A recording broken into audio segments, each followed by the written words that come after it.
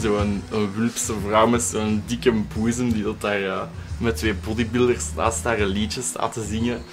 Ik vond dat zo over de top dat het terug geweldig werd. Mijn guilty pleasure song, en dat is zeer guilty, is Wendy van Wanten met Blijf nog één nacht. Jij die mij ooit zo graag zag. Nee, ga niet. Zo, zo geweldig.